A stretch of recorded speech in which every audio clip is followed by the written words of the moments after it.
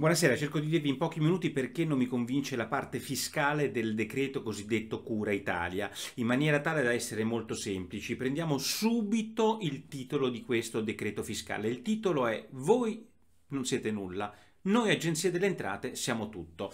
Cosa hanno deciso? Ed è una cosa tecnica ma fondamentale per farvi capire lo spirito dell'Agenzia delle Entrate.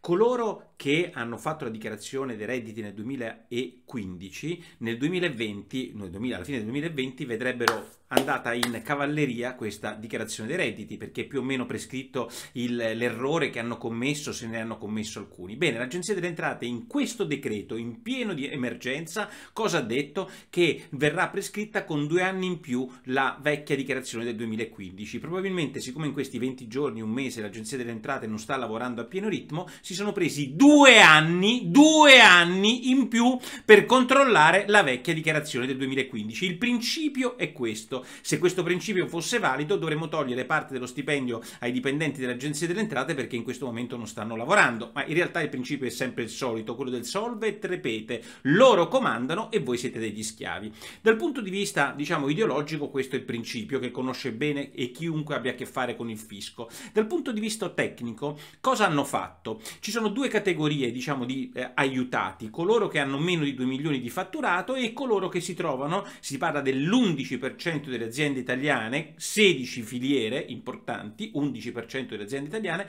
che si trovano nei settori cosiddetti a rischio, individuati a rischio. Bene, per costoro c'è il rinvio, il rinvio del pagamento dell'IVA e dei contributi e delle ritenute fiscali che hanno fatto nei, loro, eh, nei, confronti dei loro dipendenti a febbraio e quindi le avrebbero dovute pagare il 16 marzo e gli dicono le pagate a maggio.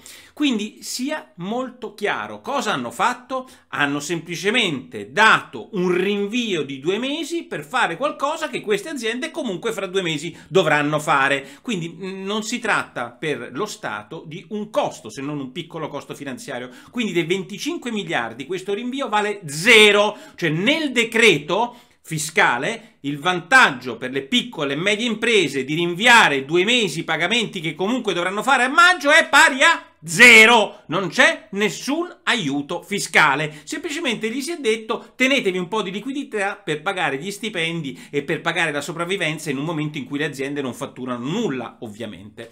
Poi c'è una seconda questione.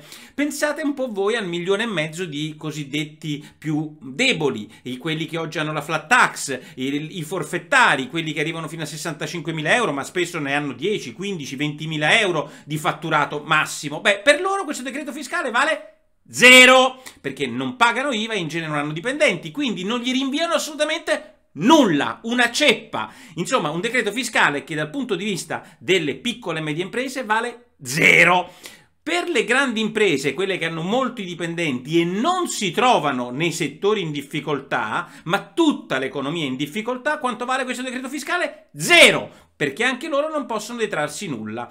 Ma poi c'è un'ultima questione, e c'è questo aiuto dei 600 euro alle partite IVA. Io questa mattina nella zuppa ho detto, beh, comunque ragazzi, non sputiamo sopra 600 euro. Ovviamente eh, ci sono partite IVA a cui cambia poco, e ci sono piccole partite IVA, comunque 600 euro sono un aiuto, se non altro per fare la spesa. 600 euro per una partita IVA nette sono 1200 euro fatturate, è così che funziona, qualsiasi reddito, perché ci sono anche i contributi. Meglio di nulla. Poi vengo a scoprire, e me ne scuso perché non l'ho detto detto bene questa mattina e anzi stamattina eh, ho anche fatto qualche battuta su Crosetto che invece mi sembra avesse ragione lui, e cioè che chiunque iscritto a un ordine professionale, giornalisti, geometri, tutte queste robe qua, non ha diritto ai 600 euro. Allora, è pazzesco se così fosse, cioè i 600 euro vanno solo a coloro che sono iscritti alla gestione separata dell'Inps. Se così fosse, vorrebbe ridurre, dire, ridurre ancora di più la platea di quelli che hanno questo piccolo beneficio fiscale. La sintesi di questo decreto fiscale è lasciamo perdere cose relativamente positive sulla CIG, lasciamo perdere diciamo il resto del decreto, ma per le, gli autonomi dal punto di vista fiscale vale zero, se non un rinvio o di un mese o di due mesi. Rinvio utile ma voglio dire non definitivo rispetto al mercato che si è perso. E per gli autonomi una parte di loro avrà 600 euro, una grandissima parte un calcio nel sedere. Insomma, non mi sembra risolutivo e soprattutto il principio è sempre quello, il fisco c'è sempre il coltello dalla parte del manico e voi ne subite le conseguenze.